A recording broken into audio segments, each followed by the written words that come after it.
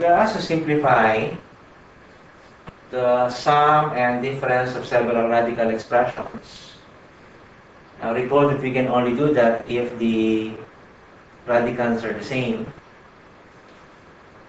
So what we'll do here is to express the radicands as the product of prime factors and then let's see what we can combine later.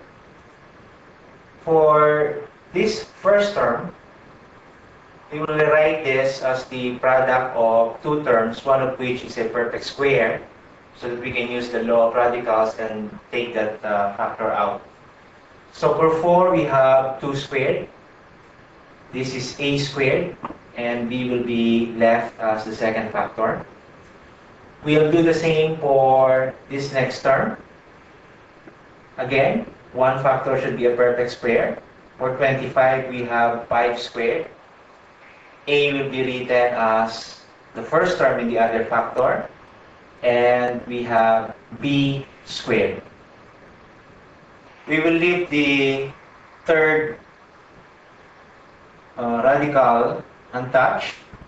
As you can clearly see, a squared is also a, is already a perfect square. Plus, for this last radical, we can write this as 4 squared, there's your 16. A will be the first term of the other factor, and here is your B squared.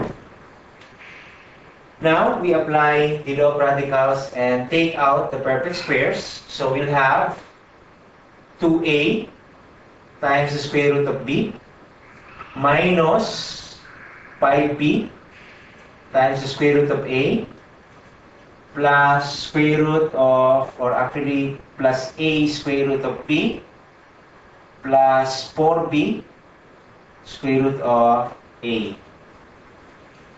We can combine these two factors because they share the common term square root of b. So you have 2a square root of b plus a square root of b will give us 3a square root of b. And these two other factors both share square root of a.